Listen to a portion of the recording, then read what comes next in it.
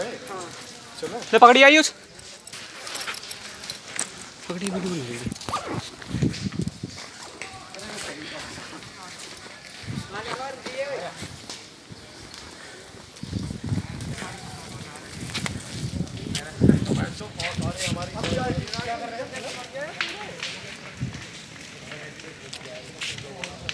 अरे पब्लिक जा रही है रे अब। यो माव के की है माव के की है कौन सी? फिर उसकी ट्रॉली में कैसे भर कैसे? वे भर के लेके आए। कुल्लन के कुल्लन ने काटी हो? बहन के भसड़े ने काटी इनने।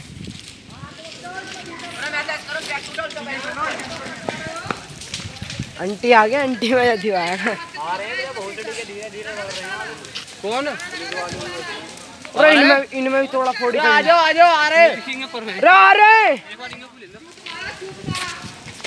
कौन आ रहा है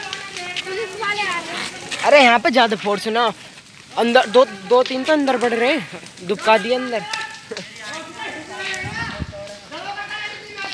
अरे आंटी रहने।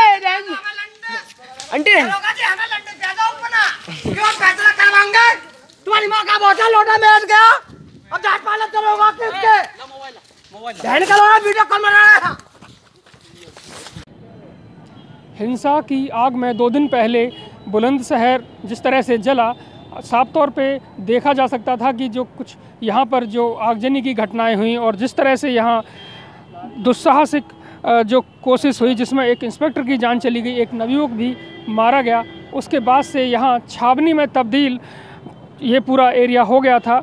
अब हम जिला मुख्यालय पे हैं और आप देख सकते हो यहाँ, अब हालाँकि कुछ जो हालात हैं वो सुधरे हैं, लेकिन अभी भी पैरामिलिट्री फोर्सेस लगाई गई हैं और स्थिति को नियंत्रण में करने के लिए कवायदें की जा रही हैं। श्रीपाल तेवतिया ईटीवी बुलंदशहर।